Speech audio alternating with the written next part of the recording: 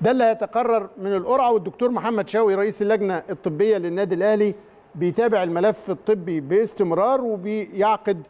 اتصالات مستمرة مع أعضاء البعثة اللي تقرر سفرها يوم 28 إن شاء الله. أكد الدكتور محمد شوقي إنه نظام الكبسولة الطبية اللي هيدخل فيها الفريق أو البعثة فور وصولها عبارة عن تغليف كامل لمكان إقامة البعثة محدش هيخرج منها حتى نهاية البطولة. بما يضمن سلامة كل أفراد البعثات المشاركة إن شاء الله قال إن فندق إقامة بعثة الأهلي لن يستقبل أي ضيوف من الخارج علشان كده الإخوة المصريين والعرب اللي مقيمين في الدوحة واللي عندهم أمل يلتقوا بعثة الأهلي